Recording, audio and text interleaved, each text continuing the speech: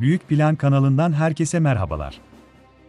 Hükümete sokağa çıkma yasağı dahil tek tip koronavirüs kısıtlamalarını yürürlüğe koyma yetkisi veren enfeksiyon yasasındaki belirsizlik Almanları tedirgin etti. Bugün uygulamaya girecek olan yasada öngörülen sokağa çıkma kısıtlamasında istisnai durumlar olup olmayacağı henüz bilinmiyor.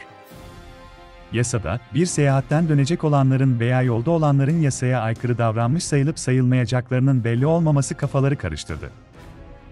Federal Meclis hukukçularının hazırladığı bir rapora göre uçağı kaçırmamak için gece boyunca seyahat etmek isteyen biri, sokağa çıkma kısıtlaması getirildiği için bu seyahate çıkamayacak.